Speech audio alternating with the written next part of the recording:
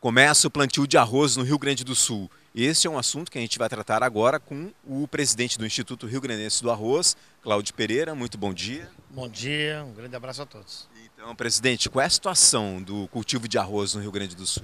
Bom, hoje nós estamos já plantando praticamente 60% da área é, que está de intenção de plantio no estado do Rio Grande do Sul está semeada.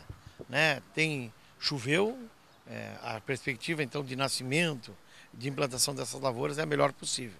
É... Houve um aumento de área esse ano em relação ao ano passado. Exatamente, os produtores estão experimentando um aumento de 2% da área em relação ao ano passado.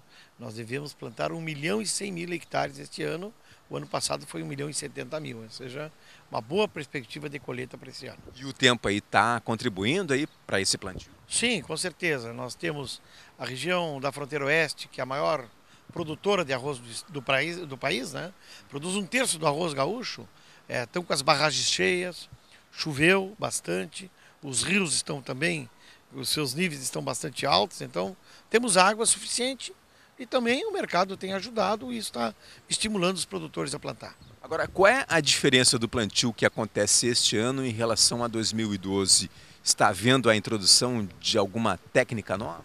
Bom, nós temos a questão é, este ano a soja. Nós, o governo do estado vem estimulando a rotação de culturas, ou seja, quebrar a monocultura do arroz, que para nós, do nosso ponto de vista, é a mãe de todas as crises. Né? É, quando assumimos em 2011, existia uma crise muito forte de preço. O arroz valia 17 reais. Hoje ele vale 34 reais. Claro que foram muitas políticas, muitos esforços. É, o governo federal uh, colocou um bilhão, um bilhão e 200 milhões em comercialização, mais um bilhão e meio em renegociação das dívidas, numa articulação feita a partir do governador Tarso Gerro, do secretário Mainardi, o IRGA, a Federal Arroz, a Farsul, a FETAG. Tudo isso contribuiu para elevar o preço do arroz. Mas também ocorreu o estímulo à rotação de culturas. A, a introdução de soja em terra plana é uma realidade. Quando assumimos, eram 64 mil hectares em terra plana. Hoje devemos semear este ano que vem perto de 400 mil hectares sem diminuir a área do arroz. Isso é muito importante, é um acréscimo de uma cultura nova na metade sul que vai dar um dinamismo maior à economia do estado, mas que também tem ajudado os produtores a enfrentar o mercado. Por quê? Porque quando só tinha arroz, os produtores só tinham arroz, a monocultura, quando colhia tinha que vender arroz. Todo mundo ofertava arroz. E isso fazia o arroz cair de preço. Agora com a, a soja, quem tem soja na mão em vez de vender arroz, vende soja. E o arroz não tem caído tanto na, na colheita. Então isso tem. O preço do, da saca do arroz uh, está estável? Está estável, exatamente. O ano passado, para ter uma ideia, nós começamos com 24 reais o arroz e terminamos com 38. Este ano, o arroz não caiu de 30 e não passou de 37, ou seja, uma estabilidade bastante grande. Hoje está em torno de 33, 34 reais, que são bons padrões de preço para essa época do ano, o que nos dá uma boa perspectiva é, de preço para o ano que vem e com a soja de, de novamente uma estabilidade boa é, na, na, no preço ao longo do ano. Agora, hoje o Rio Grande do Sul é o maior produtor de arroz do país. Qual é a média de produção anual e quanto por cento deste total é exportado? Bom, nós é, estamos é, produzindo em torno de 8 milhões de toneladas. A perspectiva desse ano é de aumentarmos é, é, 5%. 2% na área e 3% na produtividade.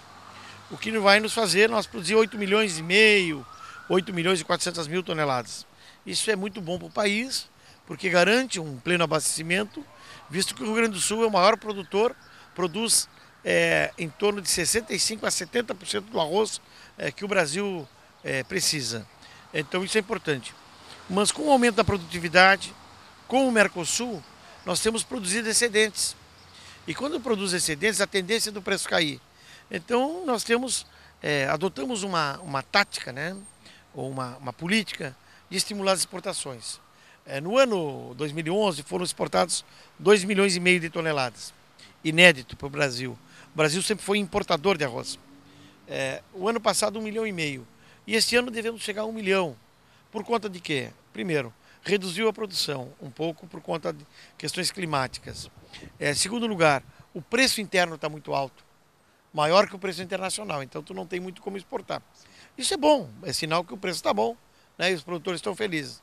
Mas de qualquer forma, nós estamos muito vigilantes, porque precisamos de ter uma política é, que estimule a exportação e uma delas é de nós profissionalizarmos as nossas empresas é, para exportação.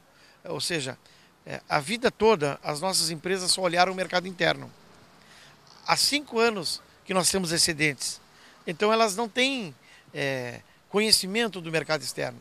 Então o IRGA se juntou com a Apex, se juntou com a Associação Brasileira da Indústria do Arroz e está com um projeto exportador que se chama Brazilian Rice.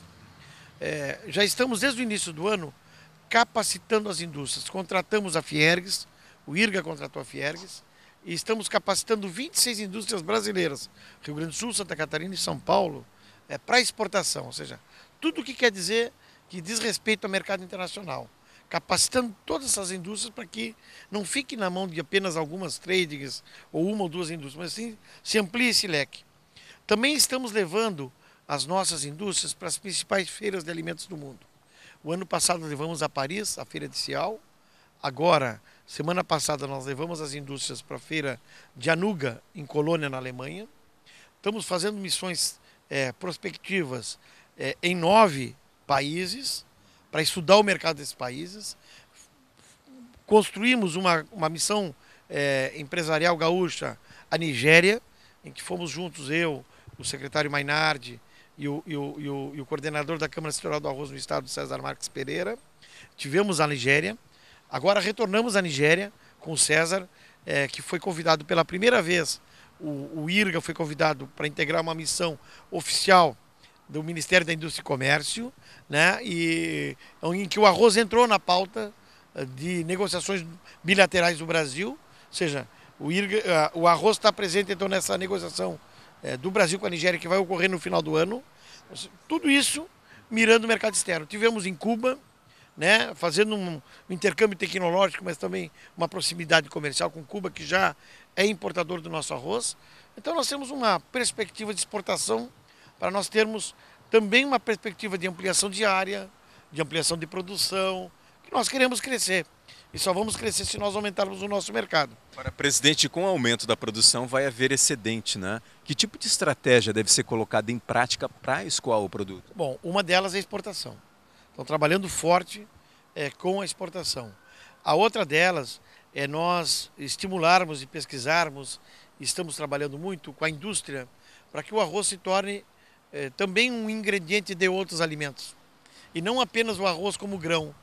É, a farinha do arroz ela pode ser usada para muitos produtos, para pães, para bolachas, ela pode entrar como ingrediente junto com a farinha de trigo, ela pode fazer achocolatados, ela pode participar de um conjunto de alimentos, é, muitos outros que possa, que pode consumir mais arroz, agregar valor nesse produto, agregar qualidade nutricional nesse arroz, nesse produto, porque o arroz, é, diferente da farinha de trigo, ele não, não contém glúten. Então, por exemplo, para celíacos, ele é um grande alimento. É um alimento muito importante. Então, estamos nessas duas estratégias.